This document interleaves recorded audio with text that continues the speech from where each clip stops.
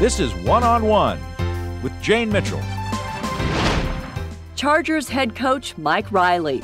His childhood football fantasies and foundation of family and faith explain why, even in troubled times, he still walks the high road. What you're trying to build so you can get better and, and really have a long lasting thing is trust and respect. In the depths of a frustrating season, Mike Riley is showing his true colors. No, not pointing fingers or shirking responsibility, rather showing what people who have known him for years or even just a day would expect to see. His true colors, calm, compassion, and consistency. He has seen the best of times. The kick is away. And the worst of times. Good! Heartbreak for the Chargers. And in only his second year in the National Football League, and as the Chargers head coach, Mike Riley hungers to win, wants his players to succeed, and is not afraid to try new things to get results. I think that's the most motivating thing in the world that there's hope, that we can do it better. It's not yelling or screaming. And I like passion and I like emotion and I like to play the game like that. But for me, it's motivating to know how we can do something better. Mike Riley's optimism and style stem from his Northwest roots. His father, Bud, a World War II veteran, hitchhiked to the University of Idaho from Alabama to play, then to coach there and at high schools. He met and married Mary, and they had three boys Michael Joe Riley, born July 6, 1953, in Wallace, Idaho, and his two younger brothers, Ed, now a doctor at Stanford, and Pete, a high school coach in Oregon.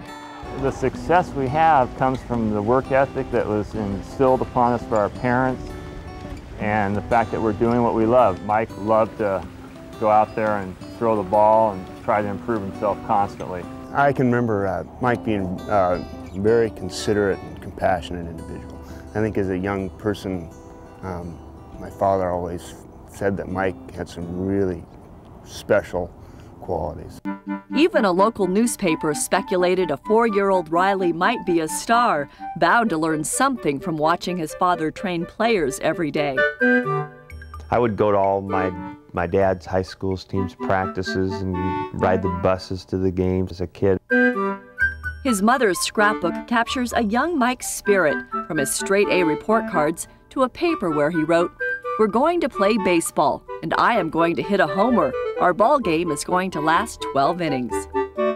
By the time he was 11, the Rileys moved to Corvallis, home of Oregon State University, where Bud would assist the up and coming head coach who would become a Pac 10 legend, Dee Andros. I couldn't ask for anybody to be more loyal than Bud Riley was to me.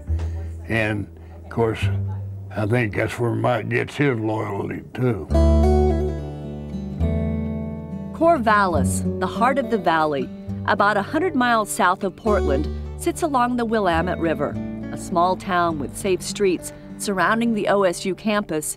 It was the perfect setting for gym rats, Riley's name for himself and his buddies. We could bike in that town over to any gym that was available, and if there wasn't one available, we'd usually sneak into one. A minor infraction for a kid who, by all accounts, didn't get into trouble. A kid who was self disciplined to perfect his skill of shooting hoops. Before I went in at night, I had to make so many in a row from three different spots, and I'd change the spots around. And, and uh, it, sometimes it took me a while to get in. He was also intrigued by American history. I wanted to read every biography in the junior high library at one time. And did you? Yeah, I think I did eventually. Among Riley's gym rat pack, Dean Roberts, Kerry Eggers, Gary Beck, and Donnie Reynolds. We all certainly respected each other's uh, abilities to do certain things. Mike's ability would be to lead. He recognized everybody else on the team and the value that everybody had, whether it was uh, Donnie Reynolds, who rushed for 1,000 yards, or a second string offensive guard he made feel important. We wanted to play on Mike's team, certainly. Uh, but if we played against Mike, we wanted to beat Mike. They used a lot of imagination at a park behind Washington School. This is DC Stadium, and this is where we played Sandlot five or six on a side, and we had a nice little amphitheater here with stairs to, to watch and, and uh, make believe is what we did, and made our own made a big time where we were. That tree was the was the end zone, so you had from that tree back to the sidewalk. They develop and test their skills, even placing a movie camera on the rooftop. We were doing zone blitzes back in 1970. That's Mike wearing number 33. While they rarely missed a basketball or football game at OSU, Corvallis High School, the only one in town at the time, would be where Beck, Reynolds, Riley, and Roberts would form the Dynasty, a name they would keep to themselves. The heart of teams winning basketball and baseball championships, and in football, the school's first state title in 1970 under coach Chuck Solberg. I didn't bring very much speed or size or quickness or anything, but I knew how to play. And we had a bunch of guys like that. And we also had a feeling, we really did, that we were part of something special that was different. Corvallis called it Spartan Magic. All four pursued coaching or playing at high school and professional levels. Mike Riley could have played for his dad at OSU, but he had his sights set on the University of Alabama, alma mater to his favorite player, New York Jet Joe Namath. He had the confidence to guarantee that win in the Super Bowl. Riley's confidence, sending the school film to prove his ability, paid off with a scholarship. I was overwhelmed when I got there. You know, football at Alabama was huge. His quarterback assignment lasted just one week. But as a defensive back, he experienced winning under Paul Bear Bryant. We did a lot of things because we were prepared and we worked really hard there. And he assessed Bryant's ways, including his somewhat intimidating style. We were all scared every time we had to talk to him one on one. He was, he was that kind of deal. Of course, I, I, I wouldn't enjoy coaching like that, so that's not part of me. Riley's mild manner made an impression on Dee Thompson, a tomboy born and raised in Alabama. I loved it that he said pardon. Because in Alabama, you know, constantly as a kid, when people question you, you go, huh? And um, he always said pardon, pardon, in his real nice little curt Oregon accent. I thought that was neat. they met through a mutual friend at school, but were just part of a big social group. If Mike would go out on a date and I would have a date during college, we'd call each other when we got home from our date. Did you have fun? And talk. Are you tired? No. And we'd meet and walk um, somewhere on campus and get an ice cream cone at 11 o'clock at night. Mike graduated and headed to Berkeley, then Whitworth College, earning his master's degree so he could teach and coach at the college level. And I really missed him a lot. And I kind of decided I'd rather hang out with Mike Riley the rest of my life than go out on dates. They considered getting married for about two months, but realized we just you know, didn't have a clue. They'd remain long distance friends while she taught in the South and he pursued his professional journey in the Northwest. Up next on One on One, Mike Riley goes border to border, developing his philosophy and building a winning reputation along the way.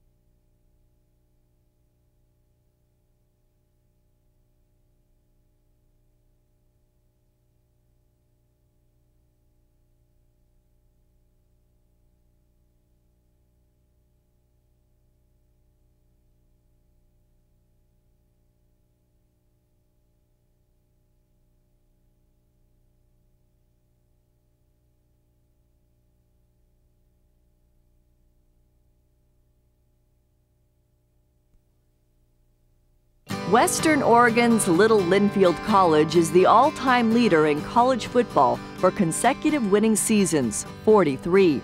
That's more than Harvard and Notre Dame.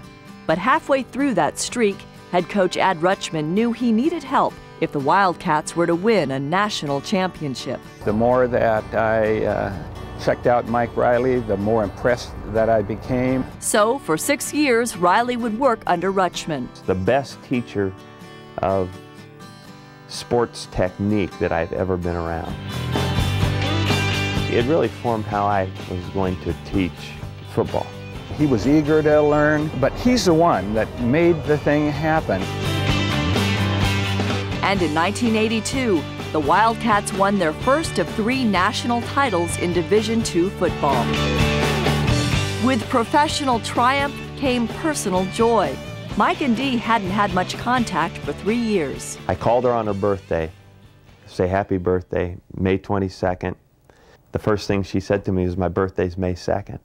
So I missed it by 20 days, but I was the thought that counted. That December, they married. What I've always liked about Mike is, and especially then, is that he's um, very sensitive, very um, quiet, and deep. Their Linfield summer vacations were spent with the Canadian Football League, where Riley was a guest coach for both his father and Hugh Campbell, his mentor from Whitworth. Very meticulous, but at the same time, he had this ability to get along with everybody and realize that each player was as important as the next.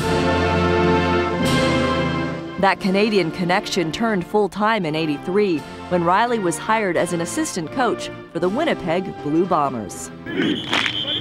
Michael Gray, a CFL Rookie of the Year now coaching at Oregon State, remembers Riley from that time. Brave Bright uh, coordinated defensively, uh, scheme-wise, blitz-wise, coverage. He knew it all. He knew how to attack offenses. That helped as the Bombers claimed the top CFL honor, the Grey Cup, in 1984. There was another cause for celebration. Mike and Dee's first child, Matt, was born that same year. By 86, they had moved to the University of Northern Colorado for Riley to coach and pursue his doctorate. Which was crazy. I was never going to finish that.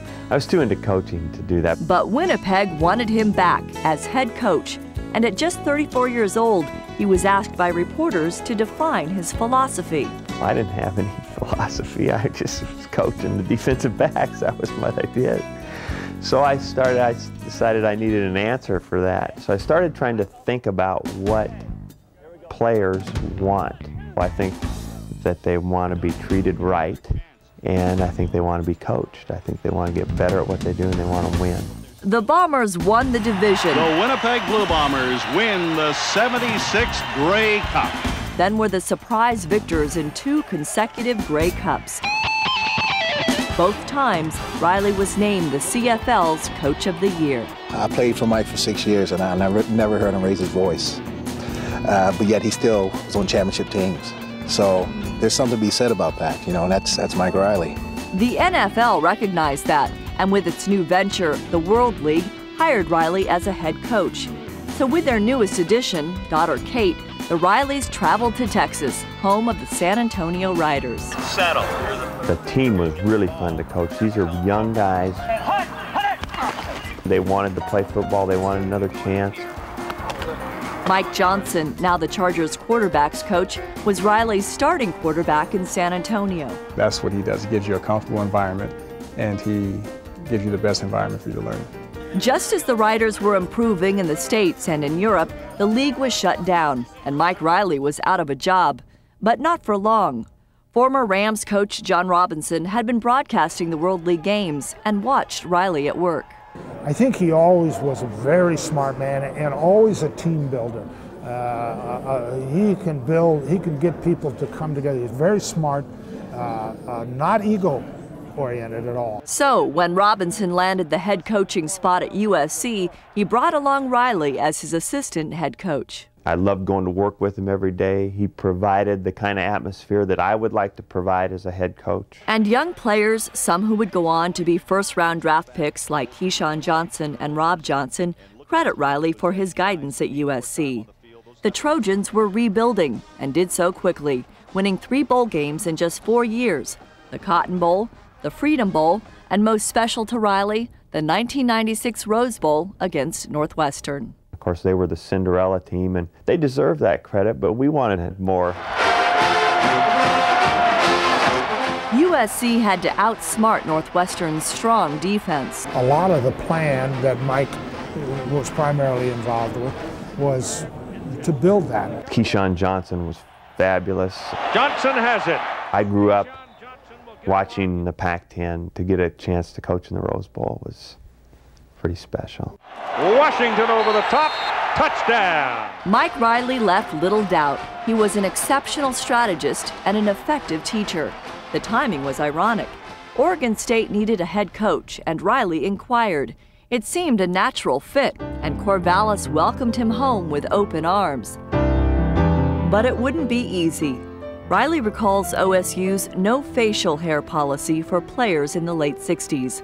It pit a former coach standing up for his rules against a player standing up for his rights, a controversy which sparked racial tensions during that era. I really believe it had a big part in why the program went downhill for such a long period of time. 26 straight losing seasons. So, by the time Riley came on board in 1997, the challenge was to improve the record and boost morale. That situation there was about as bad as you could possibly have one at a Division One college football level. And I saw that transformation take place. The first year, the Beavers won three games. Year two, he encouraged quarterback Jonathan Smith to walk on as a freshman. Well, he was a really genuine guy when I first met him. I liked his personality and, and the ways that he told you when he, you did things wrong, but he told you also when you did things right. Let's go hip, star, hurry, fire stealer. The Beavers were finally competitive against some of the best schools in the country.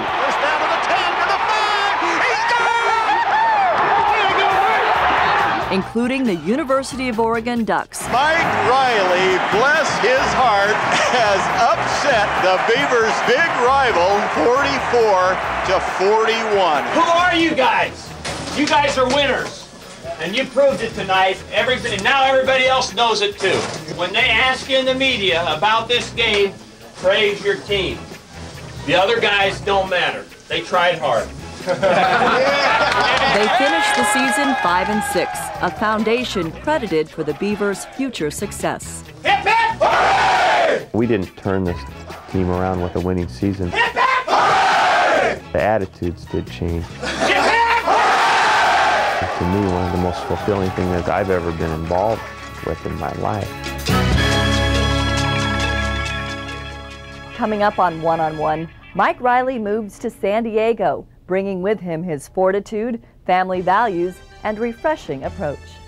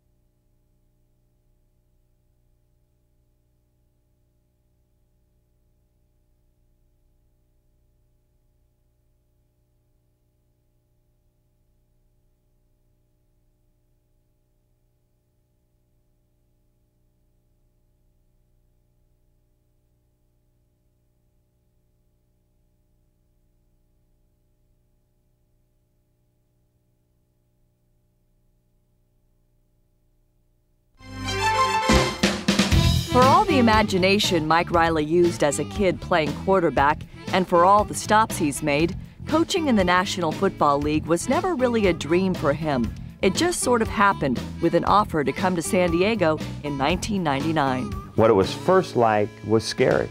The Chargers thought his background of turning programs around was a good fit, but having never even worked in the NFL, had some questioning the hire. The one, the one thing that's hard is when you change jobs, it takes time to establish um, trust. When you first came across Riley, you just looked at him and just said that, you know, this can't be true. Riley didn't fit the mold. Calmest man I've ever seen in my life. Really knows uh, the game from both sides of the ball, defensively and offensively. You just want to go out and win, and, and, and, and because you know he's right behind you, uh, you know, cheering on. It's intangibles. It's uh, things that aren't on the contract. The trust was building. Yes! There it is! We did it! We did it! We did it! Then came a mid-season six-game skid. Mike Riley and his Chargers lose for the sixth consecutive game. That was our first test or experience with Mike Riley as a downer, and Mike was very positive. He stayed the course and said, what we're doing works. We know it works. We're going to keep doing that, and we're going to find a way to climb out of this hole. And they did. Six, they have finished the season 8 and 8, 5 and 3 in the AFC West. Thinking their late season run in 99 set them up for success in 2000, the Chargers won all their preseason games and were pointing toward the playoffs. 23-20, Chargers win. But injuries, Moreno took one in the gut. bad breaks, Roughing the kicker. questionable decisions, Riley's going to take a lot of heat back in San Diego for doing this. and the slow realization that the 2000 team is short a few true playmakers He's got to have some weapons. He came into this with the cover, old Mother Hubbard's cover. There wasn't a whole lot in there, Gus. There's Junior and Rodney, and that's about it. sank the dream early and led to their tying the longest losing streak in Chargers history. You can look at our record now and you would say that, you know, coaching wise, uh, you know, they're going to be in question. Well, we're all in question, and it's not because of Riley. His philosophy works, and right now, uh, as players, we need to play better. Chargers president Dean Spanos. It's partly management, maybe per player personnel that we didn't get the right players in in the last four or five years in our drafts. Probably some of it's coaching. It's it's a lot of different things. Despite the impulse common in the NFL to oust the head coach when the going gets tough, Riley inspires confidence he'll get things going. I think Riley's all right if he bring if he had Yeah, the players to go with him with his coaching style. Accepting the fact that this is what I have to work with, I'm going to make the best of what I've got. He doesn't walk on water. He just treads through it like we all do. I just think he's a down to earth, uh, common man, which I think is a wonderful quality. Very optimistic, very positive. That's what the players need. That's what the organization needs. All right, nice job, Rogers. Way to stay down. As I sit here, I believe he's the right guy. Still, the heartbreaking losses, public criticism, and armchair quarterbacking have to hurt. Has there been a moment when you just wanted to throw up your hands? No, not really. I, I love this job too much and I understand this business. So I know there's tough times. So it's back to work. Now, if this guy plays wider, I think speeches and talks and motivational things can only go so far. Okay, let's go. They want concrete stuff to take on the field to help them be better. But if you go here and he backs up, then you can go through his outside shoulder. I think it's better to stay vertical than it is lean into your route, even if he's got outside position. There's times I'll get mad, but it mostly has to do with effort or lack of focus, I suppose. He's just not a big rah rah curse you out kind of coach. He's he appeals to the, the other side of you. Yeah, he's nice, Jane, but at the same time, he's fair. He doesn't embarrass you.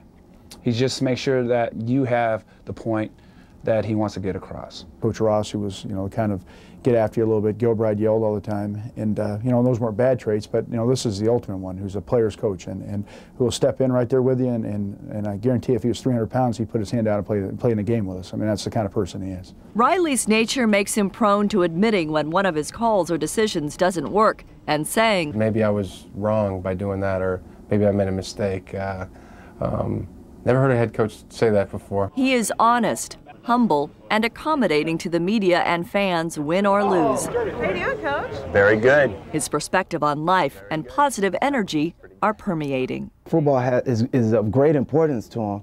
He's is just in its proper place. And uh, I, have tried to look at that and I've noticed that and I was, you know, it's, it's like, wow, it's like, man, how do I incorporate that into my life? We're Christians.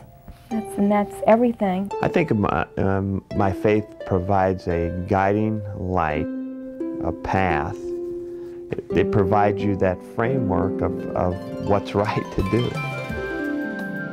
We think that our most important job we have on this earth is um, loving each other and raising our kids. There's nothing more important. Part of that love is taking care of their mind, body, and soul. Wow, there are really nice waves this morning, aren't they? To lose a little rookie weight and lower his cholesterol, Riley tamed his sweet tooth and started running 30 minutes every day at the beach with Dee, sometimes in the light of day, but usually before dawn. We have a little slice of time. It's really, it's great. We love it. During the season, Dee holds down the household so Mike can concentrate on football. Then, after a day at the office, Hello, Kate, the Gray. He is elated to pick up his daughter from school. How's your day? Then shoot some hoops. Nice. I like not being like really spoiled and stuff because most people are like, oh, you got a big house, do you have like everything you want and stuff and they kind of keep us like grounded. Mike Riley's parents, living in Canada, are proud of his journey, one he's reminded of with pictures and mementos, and tucked away in a gym bag. And there's some great memories in this thing. Is his treasure chest of championship rings and things. Like here is a, a Rose oh. Bowl ring. While Mike Riley's smarts, strategy, and even disappointment are wrapped up in a smile, his style and consistency make an impression. I want to retire as a Charger and come and watch him coach still. If you go to heaven and, and Mike Riley's not there, you're in the wrong place. We'll respect the fact that through the rough waters, Mike Riley was very steady. This team plays hard. We're working hard at our job. When we get it all going, it's going to be fun. And just stay with us.